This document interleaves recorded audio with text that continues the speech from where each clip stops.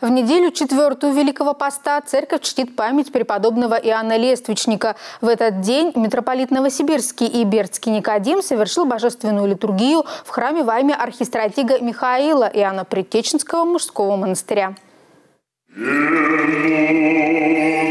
Четвертая неделя Великого Поста посвящена памяти святого преподобного Иоанна Лествичника, аскета, подвижника, церковного писателя, труды которого на протяжении веков и сегодня помогают людям в деле спасения.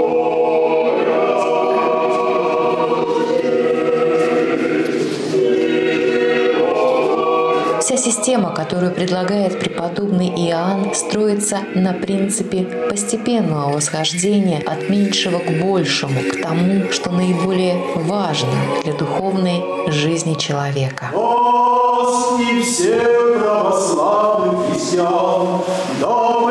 Господь Бог Своем всегда. Обращаясь к прихожанам храма во имя архистратига Михаила, митрополит Новосибирский и Бердский Никодим напомнил о необходимых условиях того, чтобы Бог помог человеку исцелиться от недугов душевных и телесных.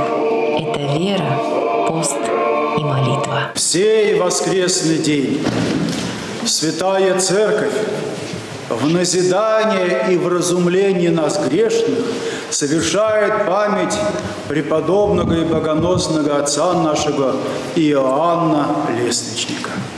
Сей дивный угодник Божий подвязался в далеком седьмом веке в египетской пустыне. Там он был игуменом – игуменом Синайской обители.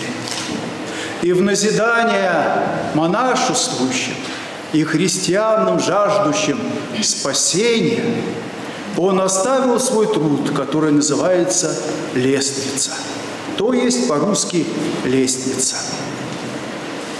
В этой книге, в 30 главах, повествуется о духовном восхождении человека в Царствие Божие, дабы быть ему совершенным. И самая последняя глава повествует о таких великих христианских добродетелях, как вера, надежда и любовь. Ибо, по словам апостола, без веры невозможно угодить Господу. Об этом же повествует и воскресное Евангелие дня сегодняшнего. Когда Господь после преображения спускается к своим ученикам, Он слышит спор, шум. Почему?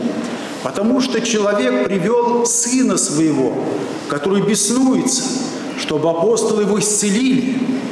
И он подходит к Спасителю с этой просьбой и сознает человека и восклицает ко Христу, «Верую, Господи, помоги моему неверию». Наверное, этот вопль души слышен в дни Великого Поста от каждого из нас.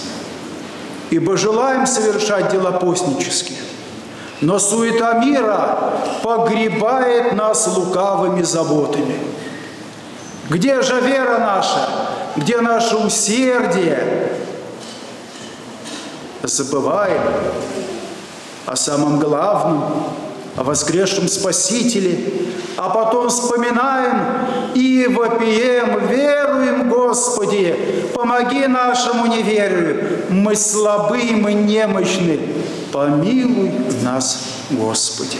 Кайтесь, молите прощения, дабы Господь всех нас помиловал.